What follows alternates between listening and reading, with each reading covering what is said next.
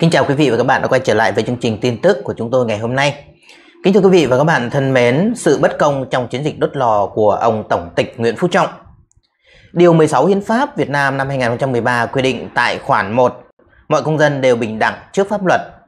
Điều này được hiểu trong lĩnh vực tư pháp khi mà xử lý những người có hành vi vi phạm pháp luật là bất kỳ người nào vi phạm pháp luật thì đều phải xử lý một cách nghiêm minh và bình đẳng như nhau. Khi tiến hành chiến dịch đốt lò chống tham nhũng, ông Nguyễn Phú Trọng đã rất nhiều lần tuyên bố trước diễn đàn và truyền thông rằng không có vùng cấm. Lò đã nóng lên rồi thì củi tươi vào cũng phải cháy. Điều này hàm ý bất kỳ quan chức cộng sản nào dù ở cấp nào khi vi phạm pháp luật đều phải bị xử lý nghiêm minh. Trên thực tế đã có nhiều quan chức cao cấp trong đó có Đinh La Thăng, Ủy viên Bộ Chính trị, Bí thư Thành ủy Thành phố Hồ Chí Minh đã bị hai bản án với tổng cộng hình phạt 30 năm tù và ông ta đang phải đối mặt với bản án thứ ba.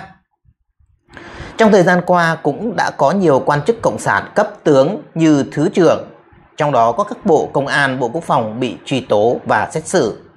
Nhưng đó là những quan chức cộng sản ở phe đối đầu, cạnh tranh và đe dọa vị thế của ông Nguyễn Phú Trọng.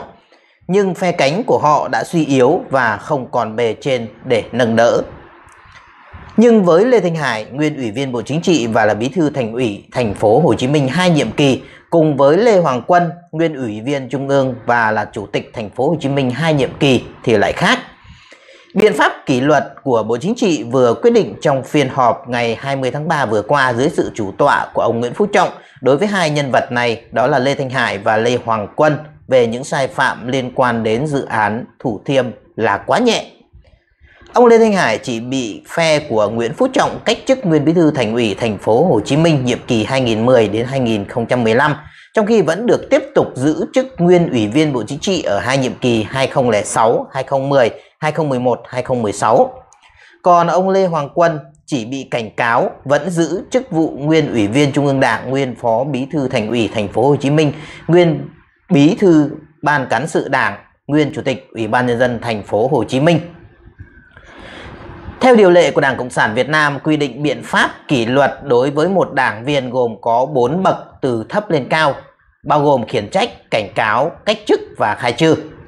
Dựa theo 4 bậc này thì ông Lê Thanh Hải chỉ bị cách chức mà lại là cách chức đã nghỉ hưu. Ông Hải không còn làm nữa, đó là nguyên bí thư thành ủy thành phố Hồ Chí Minh nhiệm kỳ 2010-2016. Trong khi ông Hải vẫn còn giữ hàm ủy viên Bộ Chính trị và nhiệm kỳ bí thư thành ủy nhiệm kỳ 2007-2011. Do vậy biện pháp kỷ luật này rõ ràng chỉ là làm cho lấy có mà thôi. Trước đó Hoàng Trung Hải, Ủy viên Bộ Chính trị, Bí thư Thành ủy thành phố Hà Nội chỉ bị kỷ luật với mức khiển trách trong vụ làm thất thoát 3.000 tỷ đồng trong dự án đầu tư mở rộng nhà máy gang thép Thái Nguyên do Trung Cộng đầu tư xây dựng. Sau đó thì Hoàng Trung Hải được thuyên chuyển về công tác làm phó trưởng tiểu ban văn kiện của Đại hội 13 dưới trướng của ông Nguyễn Phú Trọng. Theo giới thạo tin trong nội bộ Đảng Cộng sản Việt Nam cho biết rằng mức sai phạm của Lê Thanh Hải, Hoàng Trung Hải là cực kỳ nghiêm trọng. Tham nhũng của hai nhân vật này đều nghiêm trọng gấp nhiều lần Đinh La Thăng.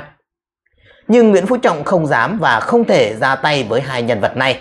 Đây chính là sự bất công, bất bình đẳng do chính Nguyễn Phú Trọng tạo ra trong quá trình của cái gọi là chiến dịch đốt lò chống tham nhũng. Tại sao mà Nguyễn Phú Trọng lại tạo ra cái bất công bình đẳng như vậy? Với Lê Thanh Hải có người đỡ đầu và cùng phe của Trương Tấn Sang ở nhiệm kỳ 11. Trương Tấn Sang với vai trò là Ủy viên Bộ Chính trị, Chủ tịch nước đã cùng với Lê Thanh Hải và các phe cánh ủng hộ đứng về phía phe của Nguyễn Phú Trọng để hạ bệ Nguyễn Tân Dũng. Bởi vậy phe cánh của Trương Tấn Sang, Lê Thanh Hải có công với Nguyễn Phú Trọng nên Trọng không thể không kiêng nể Trương Tấn Sang mà phải nhẹ tay với Lê Thanh Hải. Để chống lại và hạ bệ Nguyễn Tấn Dũng, Nguyễn Phú Trọng còn phải nhờ cậy và Trọng tin tưởng quý mến đó là Đinh Thế Huynh mà Hoàng Trung Hải là đàn em và phe cánh của Đinh Thế Huynh. Mà kết quả là Nguyễn Phú Trọng không thể nặng tay với Hoàng Trung Hải. Như vậy, chúng ta không bao giờ có thể tin vào những phát ngôn của các quan chức cộng sản về việc tuyên truyền của bộ máy truyền thông của chế độ cộng sản. Những gì họ nói luôn luôn ngược lại với những gì họ làm chỉ những người nghiên cứu, tìm hiểu và có những thông tin từ trong nội bộ của chế độ thì mới có thể đánh giá được đúng và chính xác điều đó. Trong chế độ Cộng sản, sự bất công, bất bình đẳng không chỉ diễn ra trong đời sống chính trị, kinh tế xã hội mà còn diễn ra sâu sắc trong nội bộ cầm quyền của Đảng Cộng sản Việt Nam. Hiệp định EFTA khởi động tiến trình sụp đổ của chế độ Cộng sản Việt Nam. Theo quan điểm của tôi thì Hiệp định Tự do Thương mại song phương EFTA giữa Việt Nam và EU được các bên phê chuẩn và có hiệu lực thi hành sẽ mở ra một tiến trình xóa bỏ chế độ độc đảng Cộng sản ở Việt Nam. Vận mệnh sự tồn tại của Đảng Cộng sản Việt Nam và chế độ Cộng sản ở trong Việt Nam nằm trong tay các tổ chức đảng phái chính trị và nhân dân Việt Nam, chứ không còn nằm trong tay Đảng Cộng sản Việt Nam nữa. Vấn đề là các tổ chức đảng phái chính trị của Việt Nam ở trong và ngoài nước có nắm bắt được cơ hội như thế nào để vận động và tổ chức cho nhân dân đứng lên đấu tranh xóa bỏ chế độ độc tài Cộng sản Việt Nam. Trước khi đi vào phân tích vì sao Hiệp định EFTA lại khởi động tiến trình sụp đổ của chế độ Cộng sản Việt Nam, tôi điểm qua việc Nghị viện EU thông qua EFTA như thế nào. Vào tháng 10, vào lúc 12 giờ trưa ngày 12 tháng 12 năm 2020, xin lỗi các bạn, vào tháng 12 năm 2019, Nghị viện châu Âu đã chính thức thông qua Hiệp định Thương mại Tự do Việt Nam. Tỷ lệ bỏ phiếu cho EFTA là 401 ủng hộ, 192 chống và 40 phiếu trắng. EFTA được gọi được EU gọi là thỏa thuận tham vọng chi tiết hiện đại nhất mà EU từng ký với các nước đang phát triển. Nghị quyết của Nghị viện EU đi kèm EFTA cũng được thông qua với tỷ lệ 116 ủng hộ, 187 chống và 44 trắng. Với Hiệp định Bảo hộ Đầu tư IVPA, Nghị viện châu Âu bỏ phiếu 407 ủng hộ, 188 chống và 53 trắng. Nghị quyết đi kèm Hiệp định Bảo hộ Đầu tư IV EVIPA được thông qua với tỷ lệ 1 406 ủng hộ, 184 chống và 58 trắng. Đồng thời với việc thông qua EFTA, Nghị viện châu Âu tuyên bố rằng thỏa thuận thương mại với Việt Nam có thể bị tạm ngừng nếu có vi phạm nhân quyền trong tương lai. Đây là sợi dây ràng buộc và thít chặt cổ của Đảng Cộng sản Việt Nam. Và đây là một trong những điểm then chốt trong chính sách cây gậy và củ cà rốt của EU đối với Cộng sản Việt Nam. Tức là khi EFTA đang có hiệu lực, các loại hàng hóa của Việt Nam đang được xuất khẩu vào các nước EU được miễn thuế. Nhưng nếu phía nhà cầm quyền Cộng sản Việt Nam có những vi phạm nhân quyền nghiêm trọng thì cơ quan hành pháp của EU và cả Nghị viện EU có quyền cho dừng hiệu lực của hiệp định. Việc tạm dừng hiệu lực thi hành của EFTA sẽ làm cho các công ty sản xuất hàng hóa xuất khẩu vào EU phải ngừng hoạt động. Hàng triệu công nhân thất nghiệp. Điều này sẽ làm cho giới công nhân, người lao động tức giận và chế độ cộng sản sẽ nguy khốn. Bởi đó là các tổ chức công đoàn độc lập đã được thành lập và hoạt động, họ sẽ lãnh đạo công nhân đứng lên để đấu tranh. Bởi vì Việt Nam đã phải chấp nhận công đoàn độc lập để có được EFTA và điều đó công nhân sẽ có quyền lãnh đạo những công nhân của họ để lật đổ lại chế độ Cộng sản Việt Nam. Chúng ta có thể thấy thâm ý của EU qua các phát biểu của quan chức Nghị viện EU sau cuộc bỏ phiếu. Chủ tịch Ủy ban Thương mại Quốc tế của Nghị viện EU là Bernland tuyên bố lịch sử chứng minh cô lập không thay đổi được một quốc gia, vì vậy Nghị viện bỏ phiếu ủng hộ thỏa thuận thương mại với Việt Nam. Đây là lý do vì sao Nghị viện EU bỏ phiếu đồng ý với thỏa thuận mậu dịch này và cùng với đó, chúng ta đẩy mạnh vai trò của EU tại Việt Nam và trong vùng, đồng thời bảo đảm rằng tiếng nói của chúng ta có sức mạnh hơn trước. Ông Leng nói tiếp. Và đây là điều đặc biệt quan trọng trước những vấn đề chúng ta không đồng ý với nhau, như vai trò của báo chí tự do hay quyền tự do chính trị. Chúng tôi cũng mở rộng phạm vi để xã hội dân sự hoạt động. Công việc của chúng tôi từ nay là sao thỏa thuận này được đem lại và đưa vào thực hiện. Đồng thời Whit Bogel hiện là báo cáo viên của Hiệp định Tự do Thương mại Việt Nam EFTA phát biểu. Bên cạnh tầm quan trọng kinh tế và địa chính trị, tôi tin tưởng rằng thỏa thuận này sẽ đẩy nhanh tiến trình cải cách bên trong Việt Nam. Việc thông qua sự thúc đẩy thêm tiến trình và tiến bộ về tiêu chuẩn lao động, môi trường và tôn trọng nhân quyền. Theo thông báo của phía EU, Việt Nam cam kết sẽ phê chuẩn hai luật mà Nghị viện EU yêu cầu. Một là luật xóa bỏ lao động cưỡng bức năm 2020 và hai là về tự do hội họp đến năm 2023. Và đây là điểm quan trọng nhất khi công dân Việt Nam có quyền tự do hội họp, lập hội và các tổ chức công đoàn độc lập. Để được Ủy ban châu Âu ký kết EFTA thì nhà cầm quyền Cộng sản Việt Nam đã sửa luật lao động vào cuối năm 2019 cho phép công nhân được thành lập các tổ chức công đoàn cơ sở. Trong khi chờ đợi đến năm 2023 để nhà cầm quyền Cộng sản Việt Nam phê chuẩn công ước 87 của Tổ chức Lao động Quốc tế ILO quy định trong luật lao động cho công nhân được thành lập tổ chức công đoàn độc lập trong các doanh nghiệp là một công cụ vô cùng hữu ích để đấu tranh bảo vệ nhân quyền và thúc đẩy dân chủ. Ví dụ hiện nay ở Việt Nam có khoảng gần 1 triệu doanh nghiệp tư nhân và nhà nước. Nếu mỗi doanh nghiệp có một tổ chức công đoàn độc lập với số thành viên từ 3 người trở lên, thì chúng ta có ít nhất 3 triệu thành viên công đoàn. Vấn đề nằm ở trong tay các tổ chức đảng phái chính trị và các tổ chức xã hội dân sự là làm thế nào để sử dụng dụng thật tốt hiệu quả truyền thông của mạng xã hội để quảng bá phổ biến quyền lợi và lợi ích này tới mỗi người công nhân và lao động Việt Nam. Đồng thời hướng dẫn tổ chức cho họ thành lập hoạt động và đấu tranh trong việc bảo vệ quyền lợi của chính họ và lợi ích quốc gia, dân tộc. Lịch sử cũng như thực tại trên thế giới đã chứng minh rằng Đảng Cộng sản và chế độ của Đảng Cộng sản không thể tồn tại trong một xã hội mà ở đó tầng lớp công nhân và người lao động hiểu rõ các quyền tự do hội họp, lập hội và họ thực thi các quyền tự do đó. Ngày nay, truyền thông mạng xã hội đủ các loại hình thức đọc, nghe, nhìn như Facebook, YouTube, web, blog thì sức mạnh của truyền thông mạng xã hội là khủng khiếp.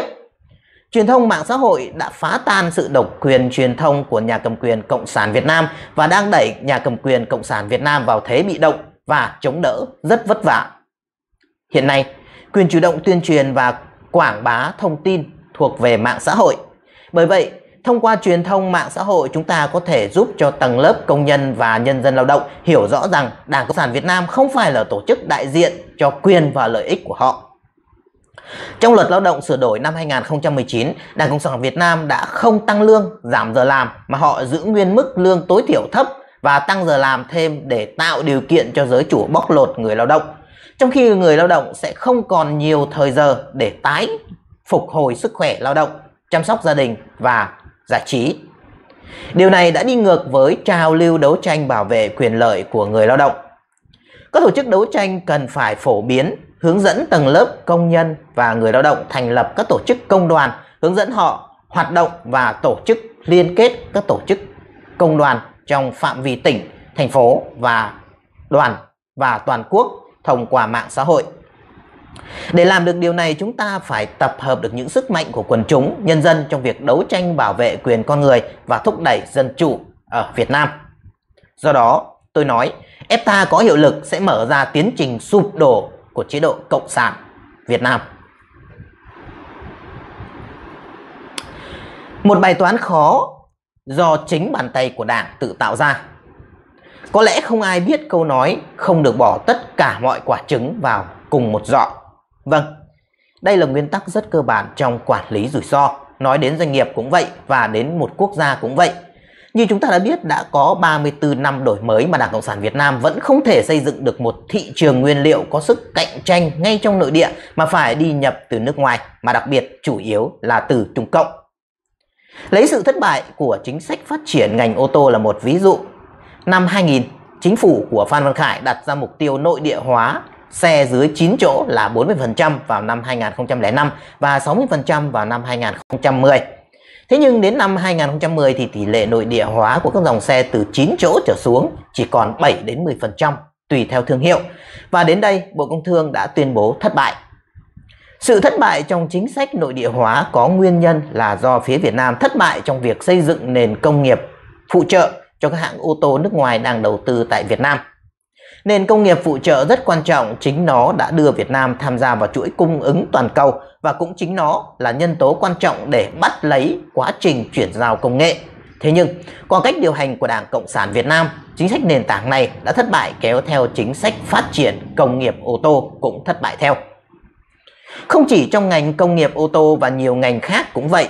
Chính vì thế mà các nền tảng sản xuất Việt Nam bao năm mở cửa cũng chỉ là thập nguyên là đó là nhập nguyên liệu từ nước ngoài để gia công. Và điều đó đáng ngại là họ chỉ tập trung nhập từ Trung Cộng, tức là họ đã bỏ tất cả các quả trứng vào cùng một giỏ. Nếu nói thị trường nguyên liệu là nền thì sản xuất của đất nước là phần móng và nền kinh tế của quốc gia là ngôi nhà. Mà như ta đã biết là móng cắm vào nền và nhà thì đứng ở trên móng. Nếu như nền yếu thì móng cũng sẽ lung lay và làm cho nhà sẽ bị sụp đổ. Mô hình kinh tế Việt Nam hiện nay khẳng chẳng khác nào là chiếc chùa một cột với nền kinh tế là ngôi nhà. Nền nhà xuất là một cây trụ móng duy nhất và thị trường nguyên liệu là ở bên trung cộng là phần nền. Khi nền mà yếu trụ cột có nguy cơ đổ ngã, tất nhiên ngôi chùa kia cũng sẽ trao đảo và ngã nhào theo. Khi Đảng Cộng sản Việt Nam xây dựng nền kinh tế Việt Nam theo mô hình chùa một cột thì rõ ràng họ đã phạm vào nhiều đại kỵ của nguyên tắc quản lý rủi ro. Ngày 11 tháng 3 năm 2020 trên báo Việt Stock có bài viết COVID-19 đe dọa suy thoái kinh tế, nhưng bài học gói kích cầu 2009 vẫn còn. Bài báo này nói rằng Bộ Công Thương cho biết rất nhiều doanh nghiệp chỉ có hàng dự trữ đến tháng 3 năm 2020. Nếu nguồn cung bị đình hoãn, có thể nhiều doanh nghiệp phải tạm ngừng hoạt động. Dù năm 2019 tăng trưởng GDP đến 7%, nhưng điều đó không nói lên ý nghĩa gì nhiều. Và đến ngày hôm nay khi dịch cúm nổ ra và nền kinh tế gặp khó khăn thì chúng ta mới thấy vấn đề của nó. Hóa ra đã qua 34 năm đổi mới bằng những quyết định sáng suốt của Đảng, nhưng nay nội lực nền kinh tế lại yếu kém đến thế. Mà cái yếu dễ thấy nhất đó là sức đề kháng quá mỏng của các doanh nghiệp Việt. Một vài doanh nghiệp yếu thì đó là lỗi của doanh nghiệp, nhưng hàng loạt doanh nghiệp yếu thì đó là lỗi của chính phủ, lỗi của việc điều hành kinh tế vĩ mô. Để giải quyết khủng hoảng do dịch cúm gây ra hiện nay, chính phủ của Nguyễn Xuân Phúc đã bung ra gói hỗ trợ tín dụng 250.000 tỷ đồng, tương đương với 10 tỷ 755 triệu đô la và gói hỗ trợ giải pháp trị giá 30.000 tỷ, tương đương với 1 tỷ 300 triệu đô la để giảm thuế, lạm phát là điều khó tránh khỏi. Nhưng điều người ta lo ngại nhất là số tiền hỗ trợ này không được phân bổ về đúng những doanh nghiệp sắp chết, mà nó lại rót về những doanh nghiệp sân sau của các quan chức lớn. Nếu rót về đúng nơi cần thì tất cả sẽ được cứu và được hàng loạt các doanh nghiệp. Và nhờ đó, đất nước sẽ tránh được một nền sản xuất bị sụt giảm mạnh. Chỉ khi nào làm được như vậy thì khi đó, gói hỗ trợ tín dụng kia mới mang lại đúng ý nghĩa là giải cứu. Còn nếu như gói tín dụng rót về doanh nghiệp mà bị những bàn tay quyền lực nắn dòng để cho nó đi lộn chuồng sang các doanh nghiệp thân hữu thì xem như hỏng. Năm 2019 là một bài học khi đó ông Thủ tướng Nguyễn Tấn Dũng bung gói kích cầu 10% GDP để giữ tăng trưởng cao. Nhưng kết quả thì sao? Tăng trưởng chỉ ở 5,2% còn lạm phát thì tăng vọt đến hai chữ số. Nguyên nhân là gói tín dụng thì triển khai nhưng nó không cứu được những doanh nghiệp cần cứu. Phần vì do triển khai chậm, phần vì bị rót sai địa chỉ. Thế là dù chính phủ có ra tay cứu thì doanh nghiệp vẫn cứ chết hàng loạt, kéo thao hàng hóa được sản xuất bị sụt giảm nghiêm trọng. Trong khi đó thì tiền bung ra thị trường thì thừa thãi nên lạm phát cao là tất yếu. Thế là lợi bất cập hại. Giả sử rằng nếu như gói hỗ trợ tín dụng đã rót về đúng địa chỉ, điều này rất khó trong một xã hội thiếu minh bạch và quen thói lạm quyền như ở Việt Nam. Thì nền sản xuất Việt Nam cũng khó mà thoát khỏi được suy thoái. Vì sao?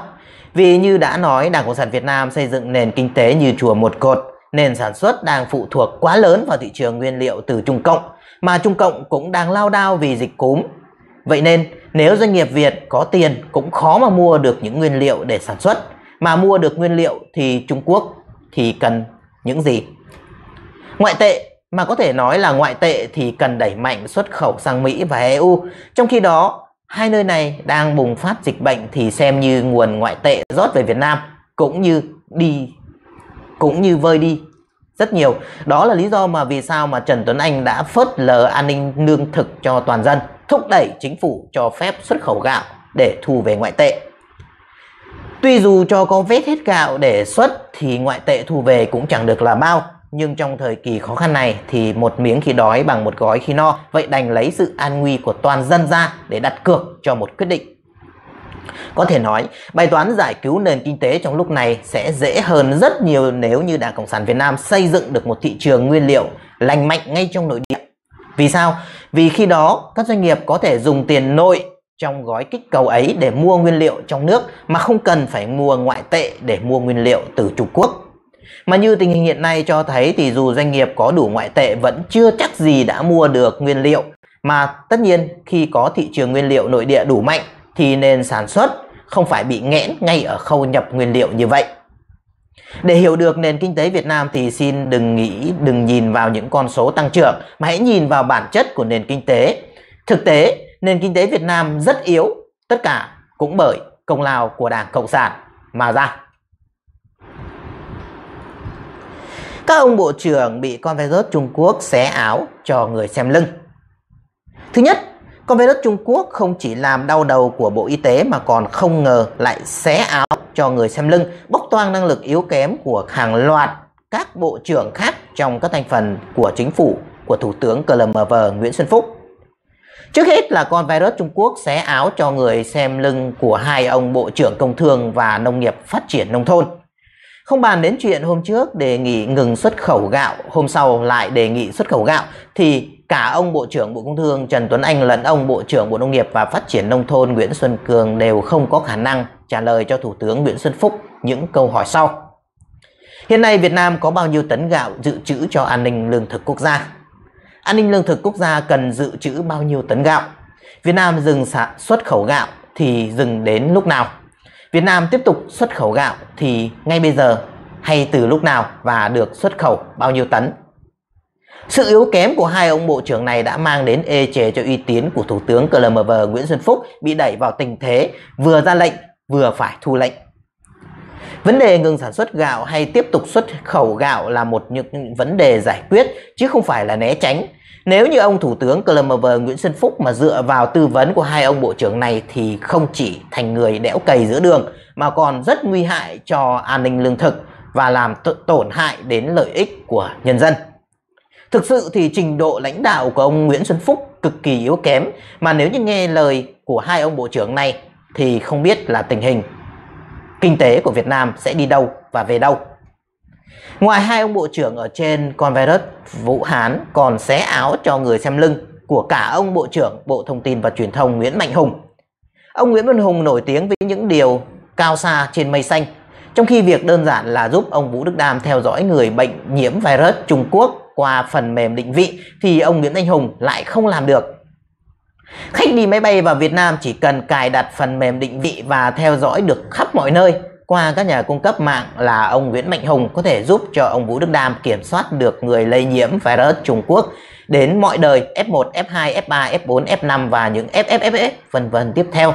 Thế mà ông Nguyễn Mạnh Hùng cứ để mặc cho ông Vũ Đức Đam phải chạy loạn lên tìm người nhiễm virus Trung Quốc theo cách thủ công. còn virus Trung Quốc đã chỉ ra sự khác biệt của ông Nguyễn Mạnh Hùng trong thời nói là cách mạng 4.0 và trong hành động thực tế là công nghiệp 1.0. Nạn nhân đau khổ của con virus Trung Quốc là ông Bộ trưởng Bộ Giáo dục và Đào tạo Phùng Xuân Nhạ. Con virus Trung Quốc đã xoay cho ông Phùng Xuân Nhạ đến chóng mặt. Ông Nhạ cứ phải chạy theo con virus Trung Quốc từng tuần một và không biết phải kết thúc năm học bằng cách nào. Ông Phùng Xuân Nhạ cũng chưa biết nên cắt, nên bỏ phần nào trong giáo dục cho phù hợp với tình hình hiện nay. Ông Phùng Xuân Nhạ cũng không chịu nghe đến bỏ kỳ thi trung học quốc gia trên toàn quốc và vì liên quan đến quyền lực và quyền lợi của bản thân ông và phe nhóm của ông. Ông Phùng Xuân Nhạ cũng đang phân vân liệu có nên cho bộ sách giáo khoa mới vào giảng dạy vào tháng 9 này hay không vì quá gấp rút. Tóm lại con virus Vũ Hán của Trung Quốc quá nguy hiểm, nó đã phơi bày năng lực thật của ông Phùng Xuân Nhạ.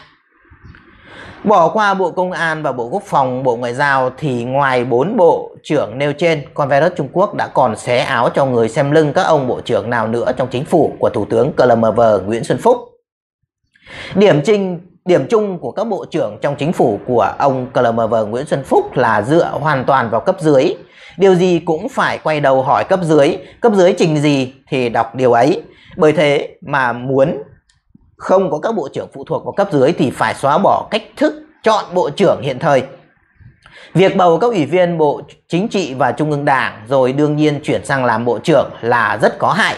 Các ủy viên Trung ương Đảng không có chuyên môn chuyên ngành, nên khi làm việc ở các vị trí bộ trưởng thì luôn bị phụ thuộc vào cấp dưới. Thực tế ở Việt Nam thì các ông bộ trưởng cũng như các lãnh đạo chính trị cao cấp ở Việt Nam đều là con ông cháu cha, mà tất cả chúng ta cũng đã đều biết các cấp trên của họ tức là cha ông của họ ngày xưa thực ra cũng chỉ là một lũ ngu không hề biết gì thực tế nhiều chính trị gia ở Việt Nam còn không đọc thông viết thạo thì làm gì có thể lãnh đạo đất nước đi lên được. Nói gì đến đời con đời cháu của họ, thậm chí như bạn bè của tôi học chung ở trong một lớp, họ học rất là ngu, nhưng bây giờ nhiều người đã là bộ trưởng. Đó là một điều không thể chấp nhận được. Các ủy viên Trung ương Đảng không phải là cỗ máy toàn năng. Hãy tách các ủy viên Trung ương Đảng riêng biệt hoàn toàn với nhiệm vụ quản trị của đất nước. Chứng nào còn tồn tại luật bất thành văn rằng cứ ủy viên Trung ương Đảng là đương nhiên làm bộ trưởng hay đứng đầu các tỉnh thành, thì chừng đó Việt Nam mãi còn tụt hậu. Liệu con virus Vũ Hán của Trung Quốc cũng có phần làm nguyên nhân của căn bệnh này không? Sau khi cập bến cảng Đà Nẵng, thủy thủ đoàn của hãng hàng không mẫu hạm USS Theodore Roosevelt bị nhiễm coronavirus Vũ Hán. Có ít nhất 8 thủy thủ đoàn và kết quả dương tính sau khi hàng không mẫu hạm của Theodore Roosevelt ghé Đà Nẵng ngày 5 tháng 3 năm 2020. Đó là lần cập bến sau cùng của hãng hàng không không mẫu hạm này tính cho đến lúc các thủy thoảng thủy thủ đoàn bị nhiễm bệnh. Trước bối cảnh dịch tàu đang xảy ra ở Vũ Hán và Việt Nam và một nước láng giềng của Trung Quốc, nguy cơ thủy thủ đoàn bị lây nhiễm có thể xảy ra. Tuy nhiên, quyết định ghé Đà Nẵng đã được thông qua. Đại úy Hải quân Christopher Salman đã có bài đăng trên The Diplomat vào ngày vào ngày thứ hai. Ngay cả coronavirus cũng không thể ngăn chặn cả hạm đội của Hoa Kỳ viếng thăm Việt Nam lần thứ hai. Theo quyền Bộ trưởng Hải quân Mỹ Thomas Modly thì quyết định ghé Việt Nam được lượng giá dựa vào tình hình đại dịch của Việt Nam vào thời điểm cuối tháng 2. Đề đốc Phil Davidson, tư lệnh Hải quân của Hoa Kỳ ở vùng châu Á Thái Bình Dương đã dựa vào thông tin của nhà nước Cộng sản Việt Nam về số người bị nhiễm virus tàu vào lúc đó để giải quyết và quyết định việc cập bến Đà Nẵng.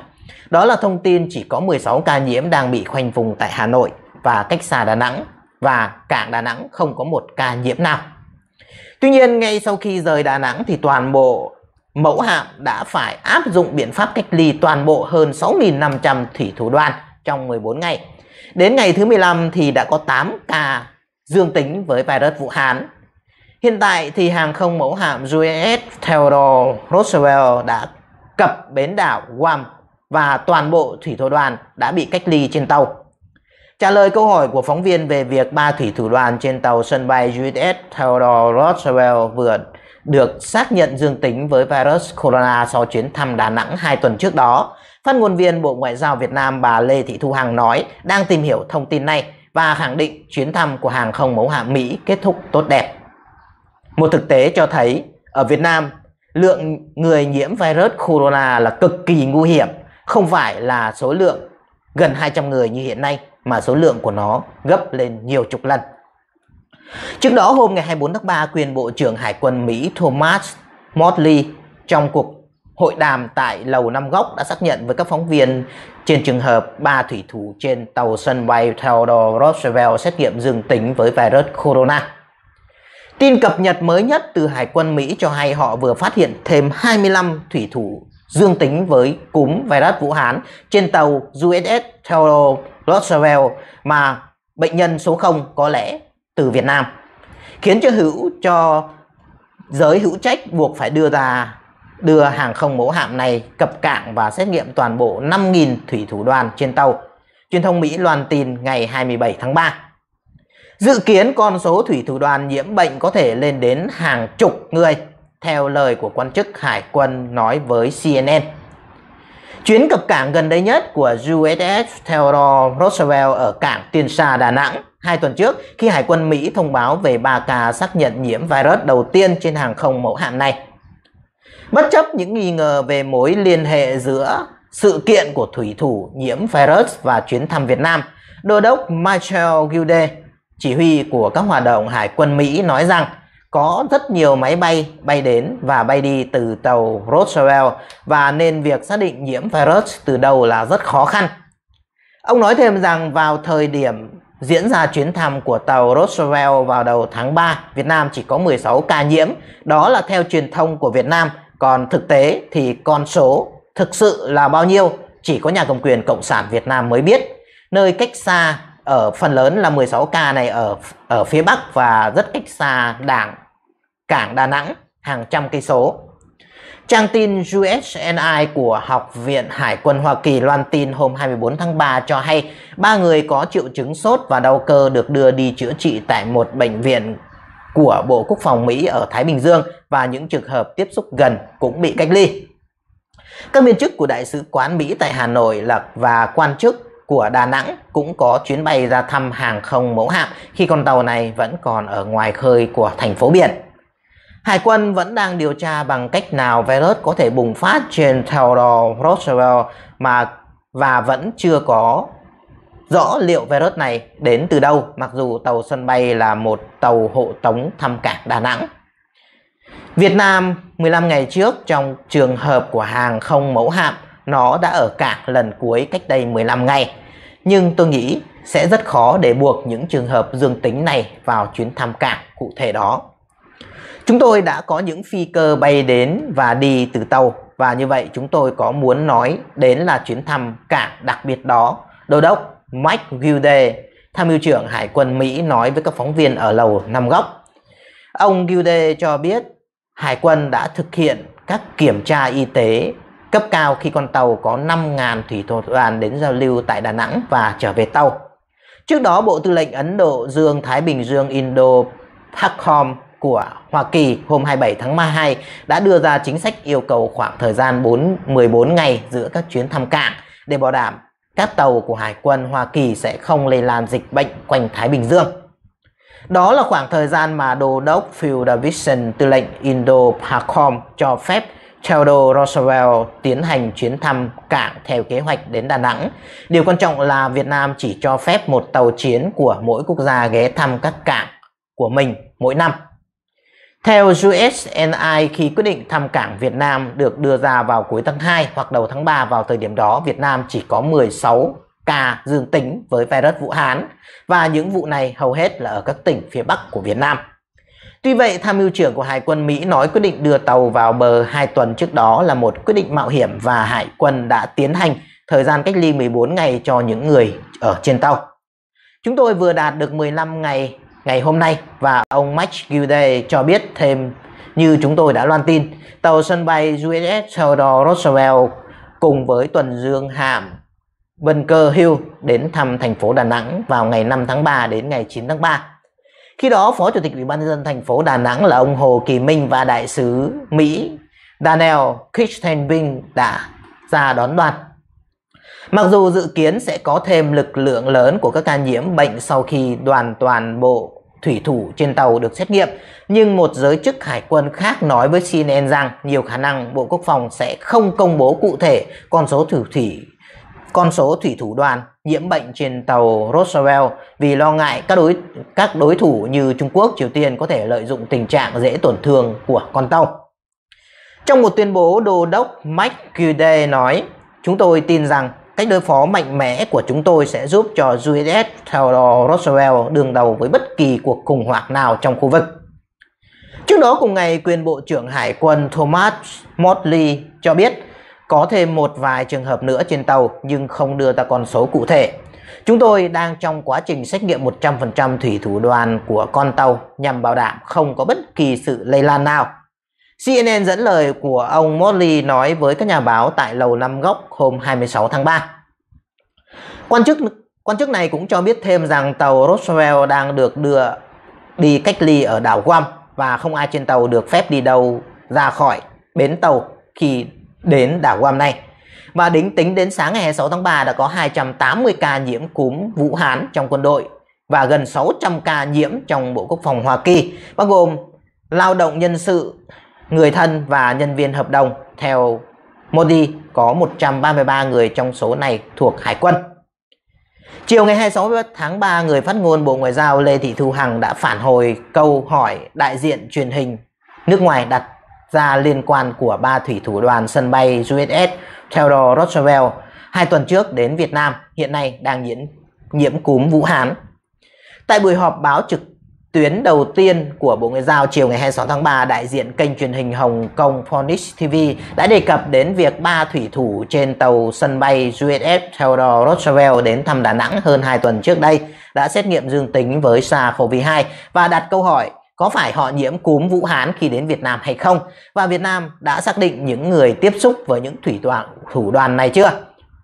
Trả lời câu hỏi trên, người phát ngôn Bộ Ngoại giao Việt Nam Lê Thị Thu Hằng cho biết chúng tôi quan tâm và đang tìm hiểu thông tin này.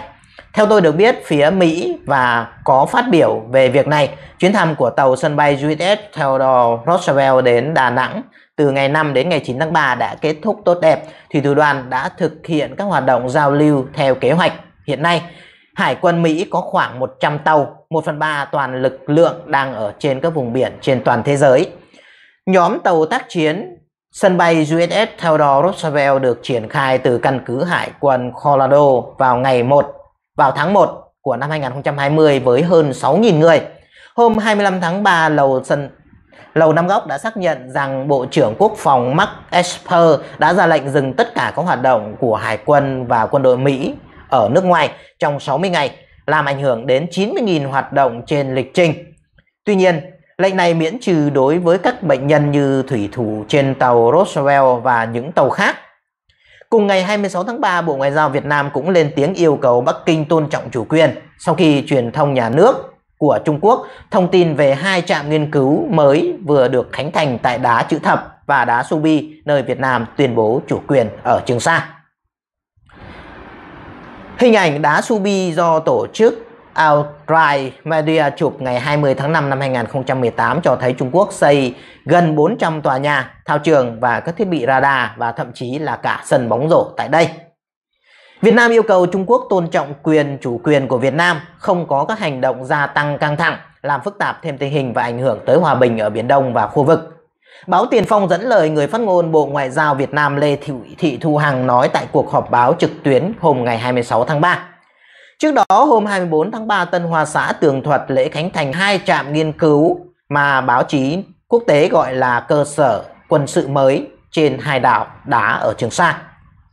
Theo tờ báo Nhà nước của Trung Quốc, hai trạm nghiên cứu nói với phòng thí nghiệm về sinh thái, địa chất và môi trường có mục đích hỗ trợ các nhà khoa học điều tra thực địa lấy mẫu nghiên cứu khoa học trên quần đảo Nam Sa theo cách gọi của Trung Quốc và Trường Sa theo cách gọi của Việt Nam. Tuy nhiên, một số nhà nghiên cứu quốc tế cho rằng động thái mới nhất của Trung Quốc là bằng chứng cho thấy Bắc Kinh đang tranh thủ tình hình cả thế giới đang vật lộn với dịch cúm Vũ Hán để lấn tới trong quyết tâm xâm chiếm Biển Đông. Một số người có thể nghĩ rằng đại dịch Corona, Vũ Hán diễn ra khiến cho Bắc Kinh mới tập trung khỏi cái điểm nóng hàng hải này. Nhưng thực tế hoàn toàn ngược lại. Nhà nghiên cứu an ninh hàng hải Colin Kaur nói với tờ Inquirer của Philippines Khủng hoảng của đại dịch góp phần gây ra tình trạng thiếu năng lượng và mất điện vì tất cả các dự án khí đốt có vốn đầu tư nước ngoài đều bị đình trệ vô thời hạn.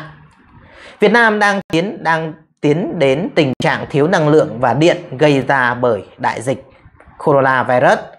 Các công ty dầu khí nước ngoài trong đó có Hoa Kỳ hoàn tất dự định đầu tư vào lĩnh vực khí đốt nhiên liệu hóa lỏng LNG của Việt Nam – bao gồm các dự án khí đốt khác nhau ở các tỉnh miền Nam. Tuy nhiên, lệnh cấm du lịch và các dự báo kinh tế ngày càng ảm đạm đã làm cho các giám đốc điều hành, kỹ sư và các chuyên gia quy hoạch của những công ty này phải tránh xa Việt Nam là một quốc gia có tình trạng nhiễm bệnh nhẹ, chỉ mới 170 mấy người là trường hợp COVID-19 được xác nhận.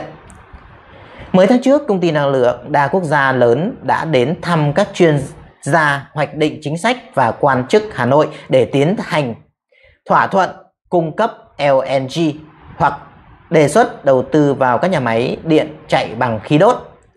Một nguồn tin của một công ty tư vấn năng lượng hoạt động tại Việt Nam cho biết công ty năng lượng nước ngoài, trong đó có nhiều công ty đã thông qua MOU thỏa thuận trên tổng thể với chính quyền và các tỉnh khác nhau có thể tránh xa Việt Nam ít nhất 6 tháng và thậm chí đến một năm trong khi chờ đợi đại dịch coronavirus Vũ Hán giảm hoàn toàn.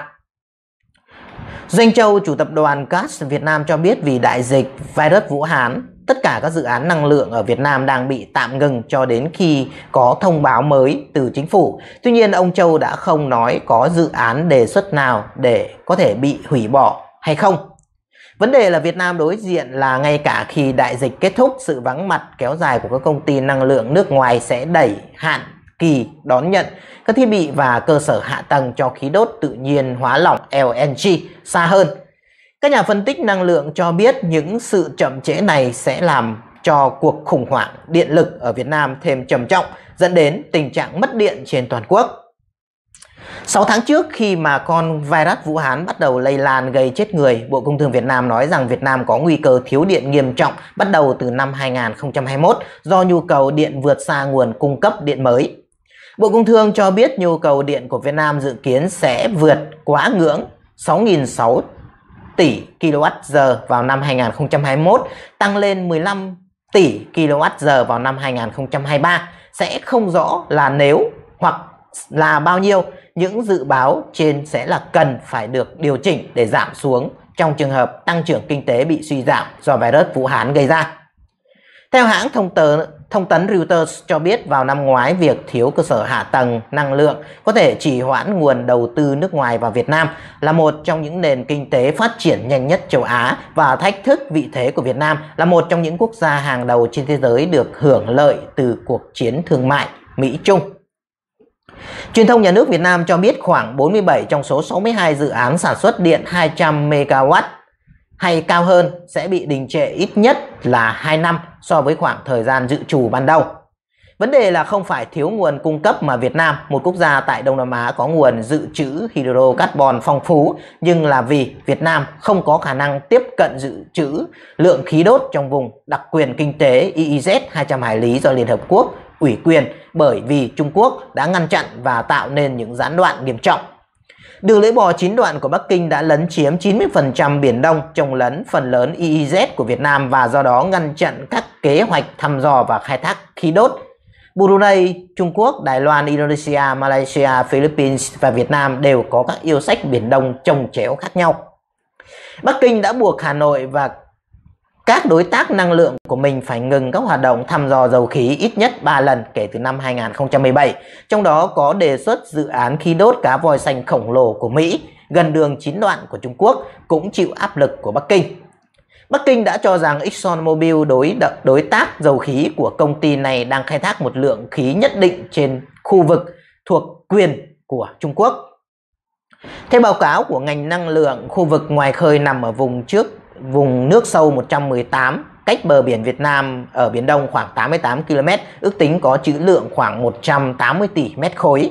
ExxonMobil ước tính nguồn tài nguyên này đủ lớn để cung cấp cấp năng lượng lượng cho một thành phố có quy mô như thành phố Hà Nội trong hơn 20 năm để bù đắp cho việc mất các nguồn khí đốt mới cần thiết để thay thế cho các nguồn dự trữ ngoài khơi đang giảm dần và đáp ứng nhu cầu tăng trưởng của nền kinh tế trung bình tăng trưởng 6% GDP trong hơn một thập kỷ.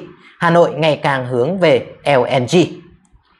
Các nhà máy điện sử dụng nhiên liệu LNG đòi hỏi một mạng lưới để nhập khí và biến đổi nhiệt độ đông lạnh của khí đốt ở dạng lỏng sang nhiệt độ bình thường Việt Nam có ít nhất 6 cơ sở này trên bảng vẽ với một cơ sở đang được xây dựng ở phía nam Vũng Tàu cũng như nhiều dự án khí đốt với quy mô khác nhau được lên kế hoạch.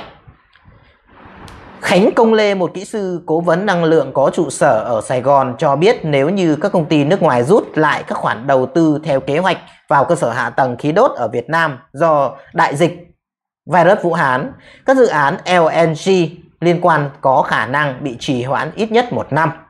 Ông Khánh cũng nói thêm rằng Việt Nam sẽ vẫn cần nhập khẩu khí đốt hoặc than đá và cũng cần có các nhà đầu tư xây dựng các nhà máy điện cần thiết để bù đắp sự thiếu hụt điện sắp tới bởi vì nhà nước Việt Nam không có tiền để tài trợ cho các dự án này và ảnh hưởng của virus Vũ Hán dẫn đến những đình chỉ và những đình hoãn sẽ khiến cho tình trạng trở nên nghiêm trọng hơn. Theo ông Khánh với dự đoán về các tác động của dịch đối với nền kinh tế có thể mất đến 2 hoặc 3 năm để khắc phục thì 2020 có thể là một năm thảm họa, là một vấn đề nghiêm trọng đối với lĩnh vực điện lực của quốc gia.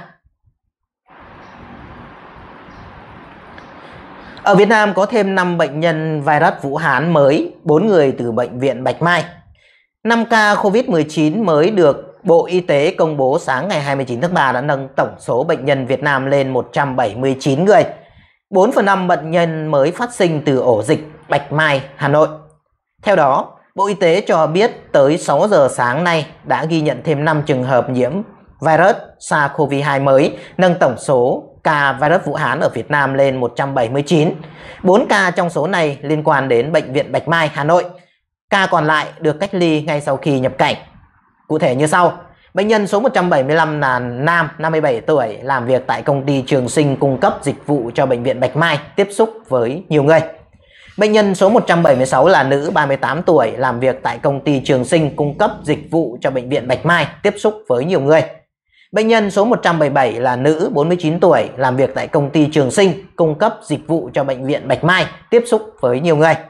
Bệnh nhân số 178 là nữ 44 tuổi làm việc tại công ty Trường Sinh cung cấp dịch vụ cho bệnh viện Bạch Mai đang ở Thái Nguyên và được xét nghiệm dương tính. Hiện bệnh nhân được cách ly điều trị tại Đại Từ, Thái Nguyên. Bệnh nhân số 179 62 tuổi địa chỉ ở quận Hà Đông, thành phố Hà Nội từ nước ngoài trên chuyến bay bay về Việt Nam IK 394 nhập cảnh ngày 18 tháng 3. Sau khi nhập cảnh, bệnh nhân được đưa đến khu cách ly tập trung tại tỉnh Thanh Hóa. Tại đây, bệnh nhân được lấy mẫu xét nghiệm và được Viện Vệ sinh Dịch tễ Trung ương xác định dương tính với SARS-CoV-2. Hiện bệnh nhân là những người đã tiếp xúc gần, đã được cách ly riêng tại khu vực cách ly, tình trạng sức khỏe ổn định. Bộ Y tế khuyến cáo tất cả các bệnh nhân, người nhà của bệnh nhân và những ai đã đến bệnh viện Bạch Mai trong khoảng thời gian từ 10 đến 27 tháng 3 thực hiện các biện pháp như sau.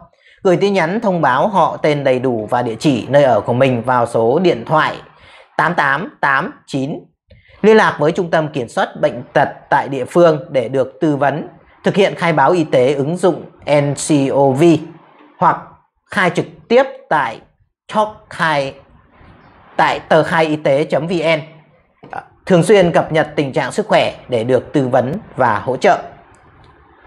Sở Tài nguyên Môi trường Thành phố Hồ Chí Minh bị khiển trách về công văn hỏa táng bệnh nhân COVID-19. Nhà cầm quyền Cộng sản Việt Nam Thành phố Hồ Chí Minh ngày thứ Bảy đã kích Sở Tài nguyên và Môi trường thành phố này vì ban hành một công văn liên quan đến việc hỏa táng bệnh nhân nhiễm virus Vũ Hán mà lãnh đạo cơ quan này sau đó đã thừa nhận có sai sót, khiến cho công chúng hoang mang. Công văn đề ngày 26 tháng 3 của Sở gửi cho ba công ty vận hành các sở hỏa táng, yêu cầu họ báo cáo về việc họ sẽ ứng phó ra sao trong trường hợp vận hành liên tục, cũng như các biện pháp an toàn nào sẽ được áp dụng để ngăn virus corona Vũ Hán COVID-19 lây lan khi tiến hành hoạt động này. Công văn này nhanh chóng xuất hiện trên mạng xã hội và gây tranh cãi bùng lên liên quan đến một đoạn văn mô tả tình huống khẩn cấp có thể xảy ra là cần phải hỏa táng các bệnh nhân nặng nhiễm virus Vũ Hán có thể tử vong, đưa tới cách hiểu rằng một số bệnh nhân có thể bị thiêu trong khi vẫn đang còn sống. Giám đốc Sở Tài nguyên và Môi trường Nguyễn Toàn Thắng ngày thứ Bảy hôm qua thừa nhận những sai sót trong văn bản liên quan đến hoạt động của các nhà hỏa táng và đã ra lệnh thu hồi văn bản, truyền thông trong nước đưa tin. Trong một công văn gửi cho Sở cùng ngày, Ủy ban nhân dân thành phố đã kích Sở gây ảnh hưởng đến công văn phòng chống dịch của thành phố và tạo ra tâm lý hoang mang trong một số bộ phận của người dân. Phê bình nghiêm khắc Sở Tài nguyên và Môi trường yêu cầu Sở Tài nguyên Môi trường kiểm điểm làm rõ trách nhiệm, đề xuất hình thức kỷ luật đối với các cá nhân có liên quan, báo cáo Chủ tịch Ủy ban nhân dân thành phố trước 18 giờ ngày thứ Bảy, tức là ngày hôm qua ngày 28 tháng 3 năm 2020. Công văn có nói: Ủy ban nhân dân thành phố khẳng định công tác phòng chống dịch của thành phố đang được kiểm soát tốt. Nói thêm rằng hiện thành phố có 44 ca nhiễm COVID-19 và 3 trường hợp đã xuất viện, sức khỏe ổn định và không có trường hợp nào tử vong vì dịch bệnh. Ủy ban nhân dân thành phố không có chủ trương, không có chỉ đạo Sở Tài nguyên và Môi trường ban hành các nội dung theo công văn số 2285 trên STNMT CTR nêu trên. Công văn ngày 26 tháng 3 của Sở gây phản ứng dữ dội khiến cho bộ này và Sở Thông tin và Truyền thông của thành phố phải tổ chức một buổi cung cấp thông tin để cải chính và tìm cách kiểm soát những tin đồn lan truyền trên mạng xã hội. Những sai sót của văn bản không phù hợp với tình hình dịch bệnh COVID-19 của thành phố hiện tại. Ông Nguyễn Toàn Thắng được dẫn lời nói ngay khi nhận được phản ánh của dư luận. chúng tôi đã giả soát lại toàn bộ nội dung và thu hồi văn bản. Quan điểm của thành phố Hồ Chí Minh là không giấu dịch và công khai mọi hoạt động và liên quan đến dịch COVID-19. Giám đốc Sở Thông tin và Truyền thông thành phố Hồ Chí Minh từ Lương cho biết, khi mà văn bản ban hành trên mạng xã hội đã xuất hiện nhiều thông tin không chính xác về thành phố Hồ Chí Minh có bệnh nhân tử vong. Xin chân thành cảm ơn thời gian theo dõi của quý vị và các bạn đã dành cho chương trình của chúng tôi đến phút cuối. Hãy để lại những lời bình luận góp ý ở bên dưới video để giúp cho chúng tôi thực hiện các chương trình kế tiếp một cách tốt hơn. Hãy bấm vào nút chia sẻ để cho thông tin được lan tỏa đến với nhiều người hơn. Hãy bấm vào nút đăng ký để trở thành thành viên tích cực của kênh. Và đừng quên bấm vào hình quả chuông bên cạnh nút đăng ký để nhận được những thông báo nhanh nhất, sớm nhất về các chương trình của chúng tôi sắp phát hành. Xin chân thành cảm ơn và hẹn gặp lại quý vị và các bạn trong các chương trình kế tiếp của chúng tôi.